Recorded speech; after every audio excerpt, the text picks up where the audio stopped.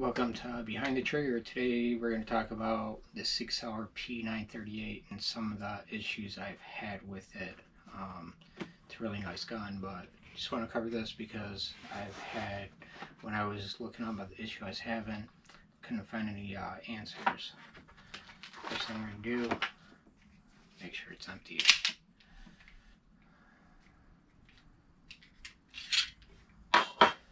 It is empty.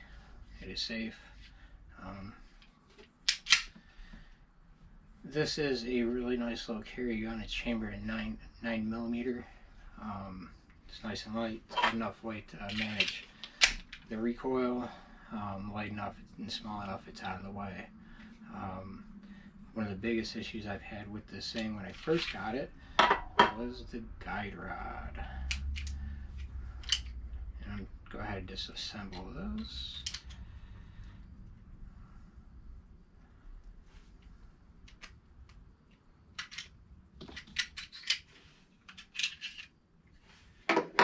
This is the guide rod.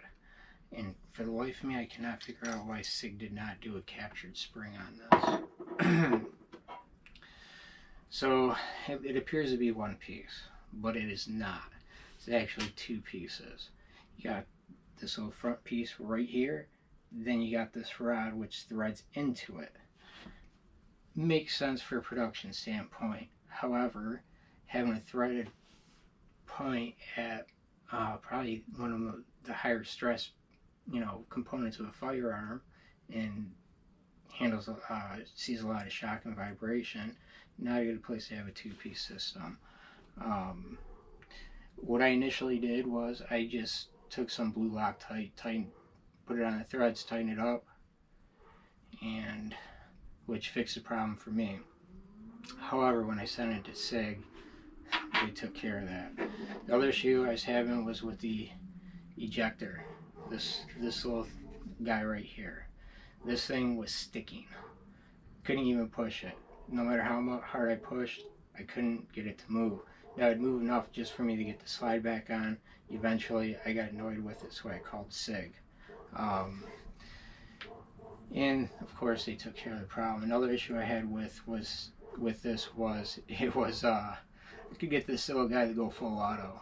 Um, fun at first, um, but not practical, nor is it safe or legal, um, nor would I want to carry something like that. Um, yeah, it's just, it wasn't a good situation.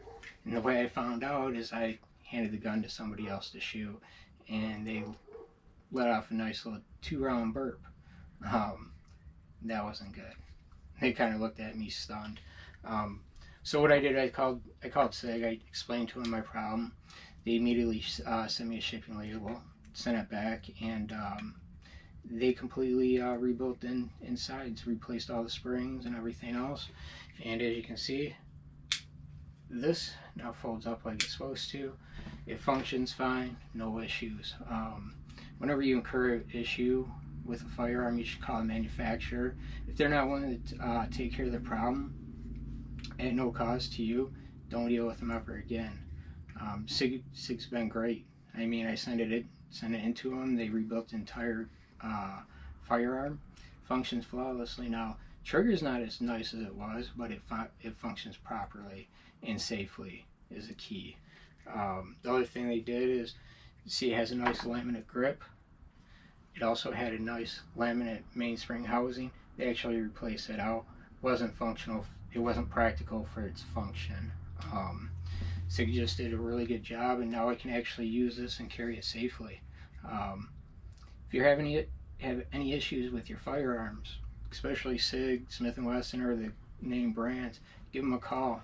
Um, a good manufacturer will take it back in and uh, fix it for free. Um, literally they've had they had this pistol for two days. Took some time to get to them they had it for two days. They fixed it. They shipped it back. Within a week i had this back and in my hands and i handed it out to the range the next day and had no issues with it since um,